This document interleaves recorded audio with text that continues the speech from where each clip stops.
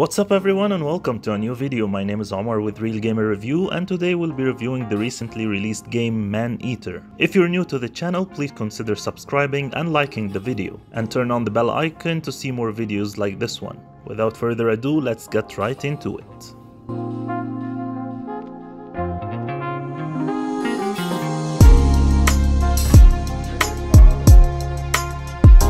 Man-Eater is an open-world shark adventure game developed and published by Tripwire Interactive. The game is released on PS4, Xbox One and PC, also scheduled for release on Nintendo Switch later this year. I've been playing this game for a bit over a week now on the PS4 Pro and I have to tell you guys it's a pretty good game. I'll try to cover all the aspects of the game through the video while trying to avoid spoilers as much as possible.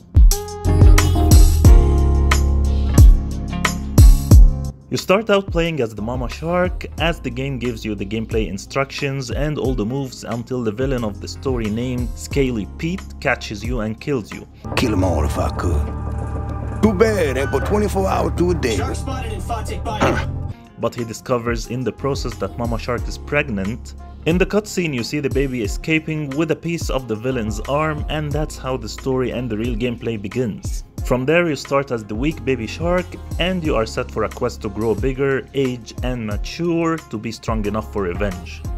In terms of story, don't expect a very deep story like the big games out there and I actually totally understand and don't mind it, as in the end you are playing with a shark. So I guess it's a pretty solid story for this type of game. So as I mentioned before, you start after the mama shark accident as the weak baby shark in an open world of a fictional area called Port Clovis, with a decent map size that is split into 7 regions. You will notice that the more you advance, the more the water will get deeper, bigger and bluer. The shark has several basic attacks, including charging into enemies, bursting out of the water, and whipping enemies with your tail to stun them. But the last one won't be available right from the start, as you need to grow and level up a bit before unlocking it. Another nice mechanic that you will unlock when the shark is old enough is thrashing, which is basically grabbing your enemies with the shark's jaw and thrashing them around to decrease their health much faster. The shark needs to hunt and consume other aquatic wildlife such as fish and turtles in order to obtain nutrients, namely proteins, fats, minerals, as you will be using them for upgrades. Players can also attack humans by wreaking havoc along the coast, destroying yachts and ships, and knocking people off jet skis. At the same time, there are other predators that can fight back or hunt you down if you are near enough and some of them can be really challenging, especially if they are on a way higher level than you. As for the swimming mechanics, it is as you would exactly expect from a shark. You can swim freely underwater and there is a short boost button. Also you can go to the surface and skim along the top to see the world around you. You can also do quests and hunt for collectibles besides the main missions. Each region will have its own apex predator, such as alligators, barracuda, other types of sharks, and even whales. Defeating these predators will earn the player special skills and will kind of guide you to proceed to the next region. The world of the game is reactive as the shark creates more havoc and hunts down more humans, more bounty hunters will be dispatched to hunt you down. There are 10 main lead hunters, if you manage to kill them all, you will receive additional rewards. Another very nice feature in the game is that the game is narrated by the host of an in-game reality TV show titled Man-Eaters vs Shark Hunters, voiced by Chris Parnell, who guides the player throughout the game and narrates pretty fun stuff while you're playing. Initially a remote fishing village, state and county authorities paid scant attention to Port Clovis, allowing it to become a thriving hub of sex tourism. The gameplay and combat mechanics are pretty simple and easy to use, but so much fun at the same time. I had a lot of fun progressing from a baby shark to a sea monster and going back to the region that you first started in to hunt down the predators that were bigger and stronger than you before. Also hunting humans is pretty cool and fun especially when you jump on land to grab them. You can do a lot of stuff when it comes to humans. You can grab them from underwater while swimming, catch them from boats and destroying those boats and drowning them, grabbing humans from land and dragging them under the water. A lot of fun stuff and what makes it even better is the over-the-top animations that they created in the game. One slight issue that annoyed me a bit but still didn't ruin the experience is the lock-on system.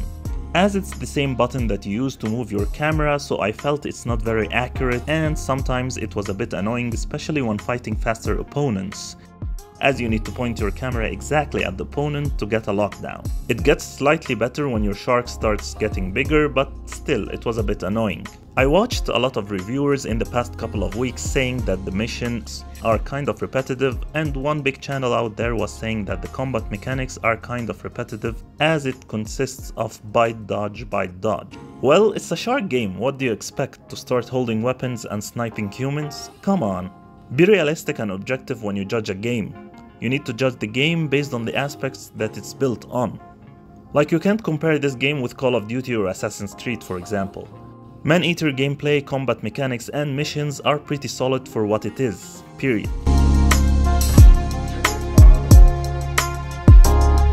The game does a pretty good job when it comes to music as it only comes on at certain moments. It's a subtle simple track in the background and it kinds of stops when you're swimming around and exploring which is pretty good in my opinion as it gives you a good sensation of the aquatic environment around you and it only amps up when it really needs to so you don't feel that they are overdoing it.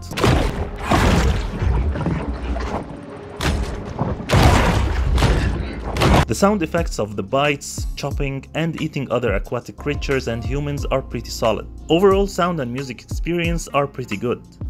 Also this game reminds me a lot of a mobile game called Hungry Shark which was developed by Ubisoft. It has pretty similar mechanics and overall experience, but of course Man-Eater is on a way bigger scale and graphics, but still Hungry Shark is a pretty nice game if you want to try it or maybe play it on your free time when you don't have access to a console or PC. It's available on iOS and Android if you want to give it a try.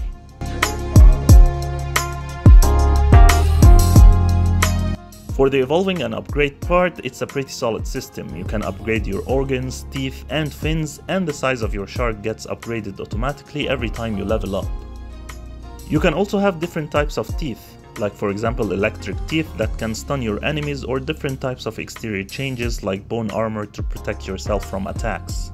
But bear in mind that you begin with a limited number of slots and as you advance you unlock more.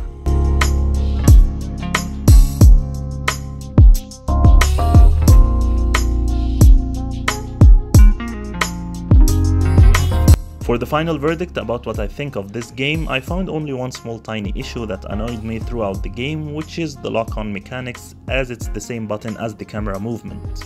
But other than that, this game is awesome and offers a fun experience that will keep you engaged to the very last moment. And as I said before, don't make the mistake of judging or comparing this game to other famous games out there as this game excels in its own zone and criteria. I totally recommend picking up this game if you are in for a different and new super fun experience away from the stereotypes of other games out there.